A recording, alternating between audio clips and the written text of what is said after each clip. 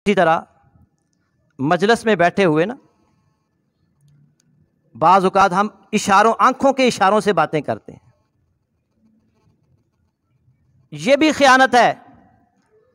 दूसरे सा, साथी भी वहाँ बैठे होते हैं मगर आँखों से इशारा करके हम किसी को कुछ और कह रहे होते हैं दूसरों को उसकी समझ नहीं आ रही। इसे भी ख़यानत करार दिया गया है। नबी सल्लल्लाहु अलैहि वसल्लम ने ना फ़तह मक्का के मौका पर कुछ लोगों के बारे में ये ऐलान किया था कि ये अगर बैतुल्ला की दीवार के साथ भी चिमट जाए, इनको कत्ल करना है। इनको छोड़ना नहीं। उनमें एक शख्स था जिसका नाम था अब्दुल्ला बिन साद।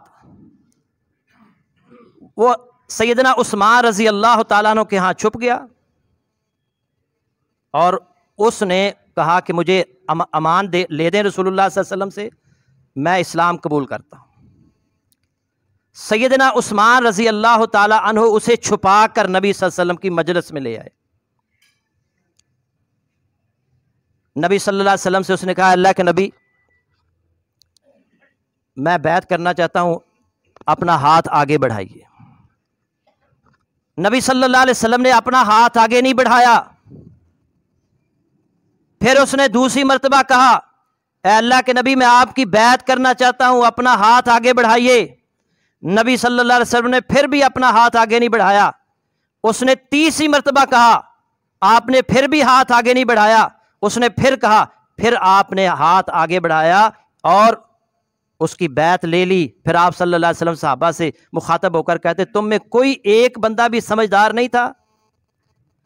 जब मैंने उसकी बैत नहीं ली तो कोई बंदा उठकर उसका सर कलम कर देता। जब मैंने कहा था कि इसको नहीं छोड़ना इसके बारे में मैंने ऐलान कर रखा था, इसको नहीं छोड़ना।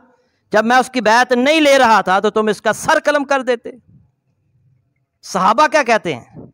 अल्लाह के नबी, आप आँख का इशारा कर देते। आप आँख का इशारा कर देते।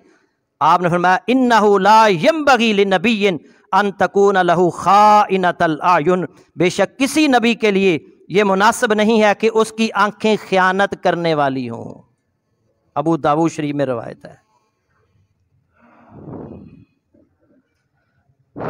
हम काम निकालने के लिए आँखों से इशारे करते हैं इसे भी ख़यानत करार दिया गया है।